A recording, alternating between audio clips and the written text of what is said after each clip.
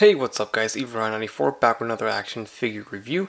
Today we are looking at the Hasbro Marvel Legends X-Men Age of Apocalypse Sugar Man Build-A-Figure Wave. This is Jean Grey, and this one comes with the biggest piece of them all for the Build-A-Figure. It pretty much takes up the entire package. We got the front face and the back, maybe the body. I don't know what's in there. We're going to check it out. And we have just Jean Grey snugged in on the side right there. And uh, the side of the box looks like that. Again, very nice artwork. I like it. And on the back of the box we have the rest of the wave.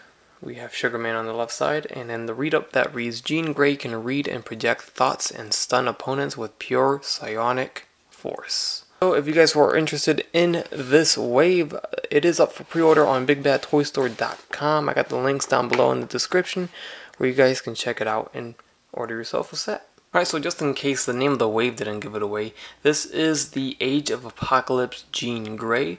Not my most favorite look of her. It is very different.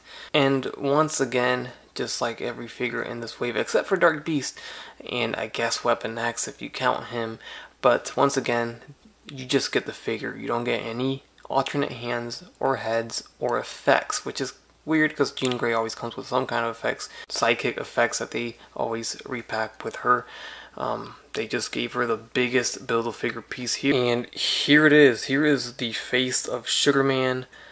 As you see how big it is. Fits in the palm of my hands. Uh, very detailed and nice. Look at the tongue. Crazy. Can't wait to get into this in the Build-A-Figure review. Also comes with, I guess, the body or the front body because here we have the front where the face goes and then the back side is missing so somebody else has the back side. Um, so I don't know what to call this. The face and the front torso, I guess I should call this, is what Jean Grey comes with. We can see the paint on her face and the hair is actually actually painted. It's not just one color. We have two different reds, got a darker red and a lighter red. So that's a pretty nice added detail. The paint on the face is clean and the rest of the body is pretty clean too. Um, and that's it. I mean, not much else to show. There it is. So we'll just move on to the next thing, which is the articulation. Alright, so the head is on a ball jointed hinge right there. So she is going to look down a lot and she's going to look up a lot. There's a swivel, 360 degrees. There's a, I guess, a little tilt, nothing significant there.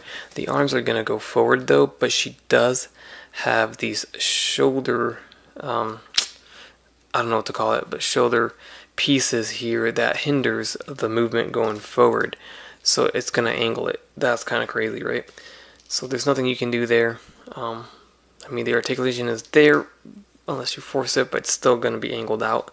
Yeah, uh, in and out, just fine. There is no bicep swivel, uh, only a single jointed elbow. There's a swivel at the elbow, swivel at the wrist with a hinge. We have a diaphragm joint that moves back pretty far and forward. Swivel left and right 360 degrees. The legs will kick forward. Again, there is no waist swivel. In and out, thigh swivel double jointed knees. Then we have an ankle rocker. I mean, sorry, a ankle hinge and then the ankle rocker. Alright, so first up in the comparison, we have Jean Grey. And this is the original Jean Grey, or the Jim Lee Jean Grey that came in the Return of Marvel Legends wave. I don't remember if it was the Rocket Raccoon wave or if it was someone else. But this is not the new one from the 3-pack. Look at the vast difference there.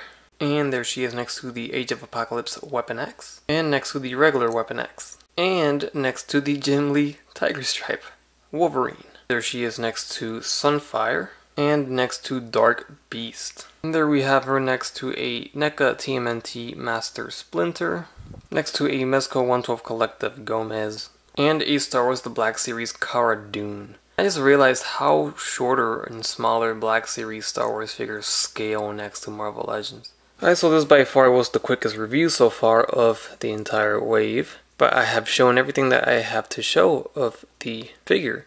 Not sure how popular this version of Jean Grey is, but it is necessary to complete your Age of Apocalypse mutants and X-Men, so definitely nice to have it because it's probably the only figure or the only Age of Apocalypse Jean Grey that exists now, so it's cool to have uh, figures that we've never gotten before.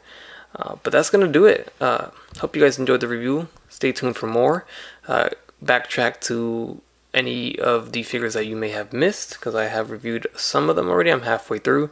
Uh, and then we'll get to the Sugarman Build-A-Figure. So see you then. Be sure to like, comment, and subscribe. And as always, have a great day. Bye. That's crispy.